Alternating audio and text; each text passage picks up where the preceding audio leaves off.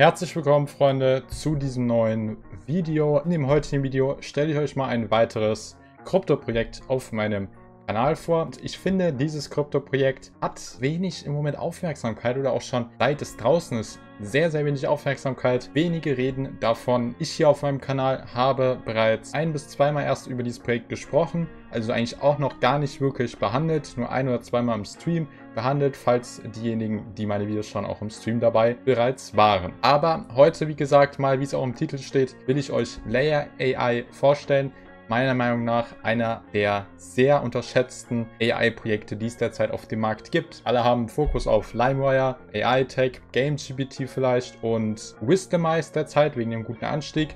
Aber niemand hat wirklich im Moment Layer AI auf dem Schirm und das ist auf jeden Fall ein Fehler. Aber schauen wir uns das Projekt mal an, was es so besonders macht. Also als erstes sehen wir hier auf der Webseite direkt mal die Produkte aufgelistet. Die schauen wir uns aber gleich noch an. Hier kann man erstmal Download Layer AI runterladen, heißt es gibt hier eine App. Hier kann man erstmal die App runterladen von Layer AI, einmal hier für den App Store, für den Play Store. Ganz egal was ihr habt, einfach da draufklicken oder am besten direkt im App Store eingeben Layer AI. Ansonsten sehen wir hier ein paar Statistiken, die natürlich schon sehr stark sind. Wir sehen hier Ecosystem App Downloads, heißt von allen Ecosystem Apps, die es hier gibt bei Layer AI, wie viele Downloads die haben und das sind bereits über 6 Millionen. Das ist schon wirklich sehr, sehr gut. AI Agents haben wir über 100.000 und Ecosystem Produkte derzeit 12 Stück. Und wir kommen jetzt, würde ich auch mal sagen, ohne weiter rumzureden, zu den Produkten, denn das ist hier eigentlich, wie ich finde, das Wichtigste. Deswegen gehen wir hier ins Dashboard und hier ist dieses Dashboard jetzt nämlich von Layer AI. Dieses ist jetzt relativ neu noch und ich finde, das sieht unglaublich nice aus und man kann hier vor allem auch die ganzen Produkte, die Layer AI hat oder fast alle, eben auf einen Blick sehen und das Ganze halt super übersichtlich. Und wir sehen jetzt schon als erstes sind wir hier bei dem Dashboard. Hier können wir eine Wallet verbinden. Das Ganze tue ich auch gerade mal. Und wenn man jetzt die Wallet verbunden hat, sieht man hier auch schon verschiedene Statistiken. Man könnte jetzt zum Beispiel sehen, wenn man halt eben ja was gestaked hat auf Layer AI, dann könnte man das Ganze hier sehen. Allerdings sind wir hier gerade beim Ethereum-Netzwerk. Ich würde euch empfehlen, wenn dann nur über die Binance Smart Chain hier irgendwas zu machen auf Layer AI. Das ist das Gute. Wir können hier aussuchen, entweder Ethereum oder BNB. Ich bevorzuge hier immer BNB, wenn es das gibt, oder Polygon. Ethereum würde ich niemals nehmen, außer es geht vielleicht nicht anders und ich bin absolut überzeugt von dem Projekt. Dann müsste man das in Erwägung ziehen. Aber das Ganze passt natürlich hier mit BNB und so kann man halt eben auch über BNB die ganzen Layer AI Tokens hier hinsenden und dann zum Beispiel auch staken. Auch sehr cool. Und hier sieht man auch schon,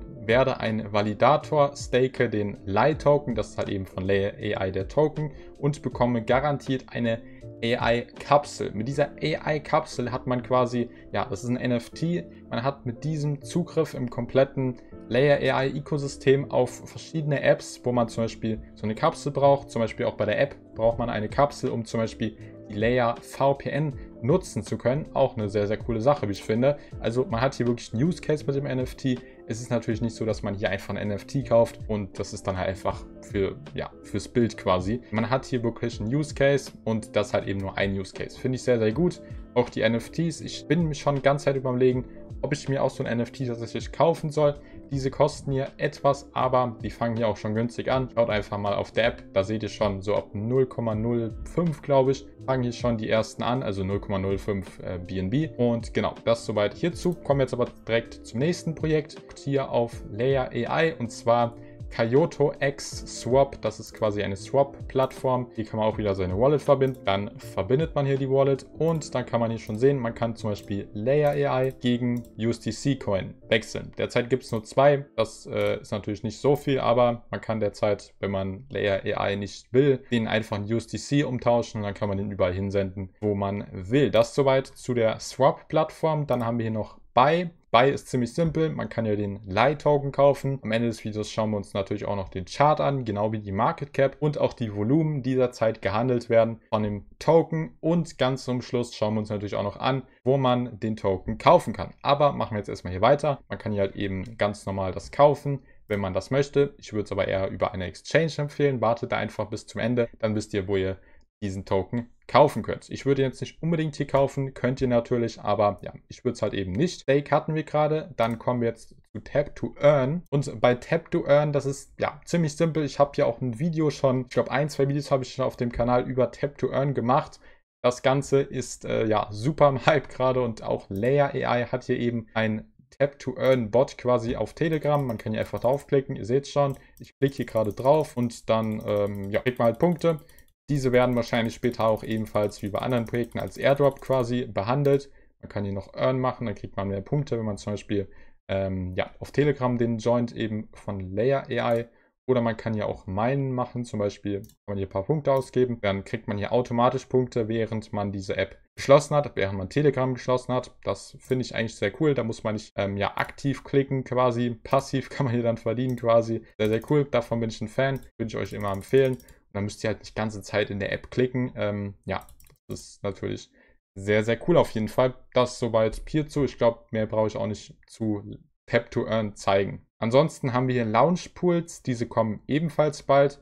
Was auch sehr interessant ist, wir haben hier Layer VPN. Und wenn wir hier einfach mal in den App Store gehen, können wir sehen, Layer VPN, das ist eine extra App nochmal, die es halt eben im App Store gibt oder halt zum Beispiel auch beim Mac könnt ihr es runterladen, wenn ihr ein Mac habt oder auf eurem Handy. Ganz, ganz easy. Ihr seht schon, was ihr hier machen könnt. Ihr habt verschiedene Locations, mit diesen könnt ihr euch dann eben verbinden. Wahrscheinlich müsst ihr diese Kapsel haben, habe ich ja eben schon ähm, erwähnt und müsst dann wahrscheinlich noch ein paar Gebühren zahlen, wenn ihr diese nutzen wollt vielleicht aber auch einfach nur diese Kapsel. Dann gibt es, wie gesagt, nochmal eine Layer AI App an sich. In dieser App quasi könnt ihr einfach diese Kapsel haben. Ihr habt eine Wallet da, ihr habt einen Raffle-Code und so weiter. Also ihr könnt ja quasi das als Hub sehen und das ist nochmal eine App, wo halt nur man eine VPN hat. Und das ist halt eigentlich die Main-App hier, Layer AI, wo ihr verschiedene Sachen machen könnt, wie zum Beispiel Assets empfangen, Assets senden, Kapseln empfangen und so weiter. Also das ist hier so die Main-App. Ansonsten gibt es hier noch einen Burn-Mechanismus ebenfalls bei Layer AI. Und hier sieht man schon Realtime Burn, heißt wie viel in den letzten sieben Tagen zum Beispiel geburnt wurde. Man sieht hier auch genau vor allem, wie viel auf Ethereum, über Ethereum-Netzwerk bei Layer AI geburnt wurde und wie viel schon insgesamt über die Binance Smart Chain. Genau, euch das einfach mal durch. Wie gesagt, wir haben hier auch einen Burn-Mechanismus, wovon ich immer absolut ein Freund bin, wenn ein Krypto-Projekt ein Burn-Mechanismus hat. Finde ich immer sehr, sehr cool. Lest euch das einfach mal nochmal genauer durch. Ist hier sehr ausführlich beschrieben nochmal. Also sehr, sehr gerne abchecken die Seite selber. Dann gibt es hier auch noch für NFT-Liebhaber einen NFT-Marktplatz. Ich habe euch eben schon gesagt, das Minimum fängt hier bei einer Kapsel quasi, mit der ihr halt ähm, Zugriff habt auf die ganzen Apps, wenn ihr irgendwas extra braucht. Ihr habt nämlich nicht alles kostenlos, könnt ihr benutzen, sondern ihr müsst hier halt eben für zwölf Monate habt ihr das dann quasi und dann wird es quasi aus eurer Wallet ähm, rausgenommen. So denke ich, wird das ablaufen. Ihr müsst hier einfach nur 0,02 BNB zahlen. Ist nicht viel und dann habt ihr diese Kapsel erstmal für ein Jahr und könnt dann hier zum Beispiel die VPN benutzen und noch ganz viele andere Sachen im Ökosystem von Layer AI. Finde ich sehr, sehr cool. Auch vor allem der Preis absolut gerecht. Da kann man eigentlich gar nichts gegen sagen. Genau, und ansonsten könnt ihr halt hier unten sehen, es gibt noch verschiedene ähm, Seltenheitsstufen, mit welchem ihr zum Beispiel länger ähm, Laufzeit habt oder auch bessere Earnings und so weiter. Also lest euch das einfach mal durch, was hier wirklich der Unterschied ist. Schaut euch jedes NFT ruhig an, jede Seltenheit und vergleicht einfach, ob ihr bereit seid, halt eben 0,5 zum Beispiel auszugeben, ist schon etwas mehr oder vielleicht sogar auch ein BNB. Wenn ihr dann natürlich für bereit seid, könnt ihr das gerne, könnt ihr das natürlich auch gerne machen. Dann haben wir noch ein super cooles Feature, was es noch nicht gibt. Ich hätte es sonst sehr gerne euch gezeigt, aber es gibt es leider noch nicht. Layer AI hat angekündigt, dass dieses jetzt hier sehr, sehr bald kommt, und zwar der Web3 Browser von Layer AI, und zwar der Browse Web3 Browser.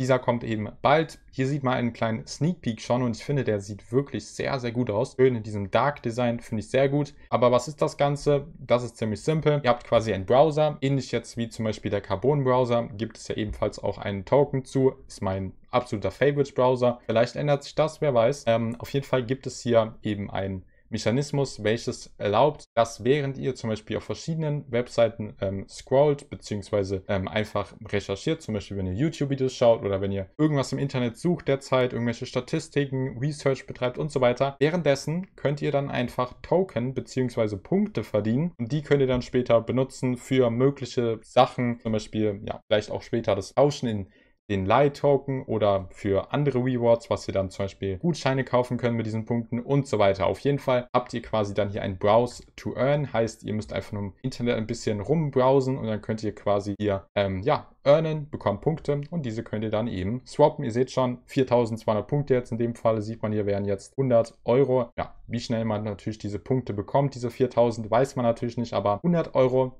theoretisch einfach nur durchs Browsen, indem man einfach das Internet benutzt, was man sowieso machen will, und dadurch 100 Euro noch verdienen, da, da kann man wirklich nichts sagen, glaube ich. Weiterhin haben wir hier auch einen Adblocker, einen sehr, sehr guten. Und ja, eben die VPN von Layer AI ist ebenfalls hier mit inbegriffen. Ansonsten ist es sehr schnell der Browser, wie sie hier werben. Und ähm, ja, einfach mal abchecken. Sehr, sehr easy, sehr, sehr simpel und auch sehr gut gestaltet, wie ich finde. Aber ansonsten schauen wir uns nochmal kurz die Data-Kapseln an, quasi, was sie hier genau sind. Und zwar seht ihr hier schon ziemlich gut, hier gibt es einfach eine Seite nochmal extra für diese Kapseln, diese NFT-Kapseln. Und hier steht, was, also welche Perks hat man hier, wenn man diese hat.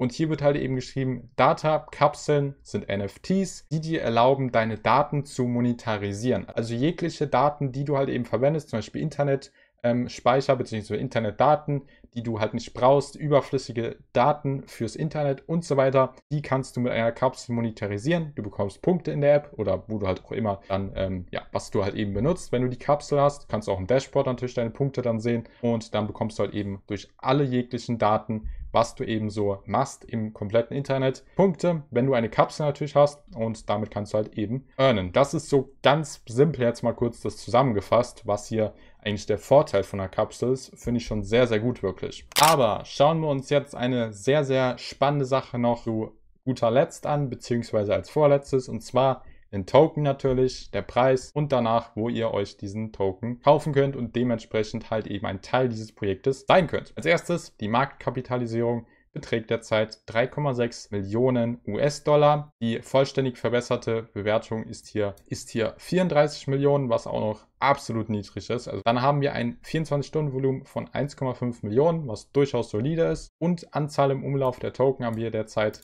318 Millionen von 3 Milliarden. Ist natürlich noch nicht viel. Wir haben hier das Projekt auch schon seit 2023 draußen, beziehungsweise was heißt schon, sondern erst eigentlich und dafür ist das ganz okay. Die Token-Verteilung ist es natürlich nicht super. Es sind natürlich viele Tokens noch nicht im Umlauf, aber ja, wir sind halt erst auch seit 2023 hier am Markt mit dem ganzen Token. Das darf man, wie gesagt, auch nicht unterschätzen oder auch vergessen. Ja, das soweit eigentlich hier zu dem Chart, zu dem Preis. Also hier kann wirklich noch absolut viel gehen. Unser Alltime High war hier bei 11 Cent. Also ihr seht schon, Freunde, massiv noch Performance nach oben ist hier durchaus möglich. Bleibt jetzt noch die Frage, wo könnt ihr den Token kaufen? Wo könnt ihr in das Projekt hier investieren? Das Ganze ist super simpel. Ihr könnt hier entweder auf BitGet in den Token investieren. Ganz, ganz easy. Hier gibt es leider aber derzeit nur den Token zum Spot-Traden. Heißt ganz normal kaufen und verkaufen könnt ihr den mit einer Limit-Order oder halt eben auch direkt reingehen. Oder ihr sagt halt eben, ihr möchtet erst kaufen, wenn halt zum Beispiel jetzt der Leih-Token hier zum Beispiel bei dieser Supportzone eben ähm, ja, quasi anhittet, dann würden wir jetzt hier zum Beispiel bei ja, 1 Cent 1 kaufen, dann könnt ihr halt den Preis hier festlegen, wann ihr ihn kaufen wollt. Ich denke, das brauche ich nicht erklären. Wenn euch das aber einfach zu kompliziert ist und ihr habt keine Ahnung, seid nicht auf BitGet, wollt nicht zu BitGet oder, oder euch ist das Interface einfach zu kompliziert, ihr wollt einfach nur den Token kaufen, ihr findet das Projekt gut dann kann ich euch Bitpanda empfehlen. Hier kam jetzt neulich auch erst der Token raus. Sehr, sehr coole Sache hier von Bitpanda. Dort könnt ihr einfach, wenn ihr sagt, okay, ich finde das Projekt so geil, ich möchte das einfach kaufen und dann liegen lassen, ich möchte da jetzt nicht irgendwie was traden mit dem Token oder was auch immer, dann kann ich hier auf jeden Fall Bitpanda empfehlen. Wenn ihr sagt, Layer AI ist so ein geiles Projekt, das werde ich jetzt ein Jahr halten mindestens, dann kauft es gerne auf Bitpanda. Meine persönliche Empfehlung der beste Krypto-Broker, den es gibt und halt eben BitGet die beste Kryptobörse zum Traden. Wenn ihr sagt, okay, Layer AI sieht derzeit gut aus zum Traden, dann könnt ihr auch BitGet nutzen, die beste Kryptobörse, wie gesagt, und halt eben der beste Krypto-Broker, wenn ihr langfristig Layer AI kaufen wollt. Ansonsten war es jetzt aber mit dem Video, Freunde. Ich hoffe, euch hat das Video gefallen und ich hoffe, ihr konntet einen Mehrwert aus diesem Video schöpfen und euch hat das Projekt gefallen. Schreibt gerne mal eure Meinung zu dem Projekt und wir sehen uns dann beim nächsten Video. Habt einen wundervollen Tag und ciao.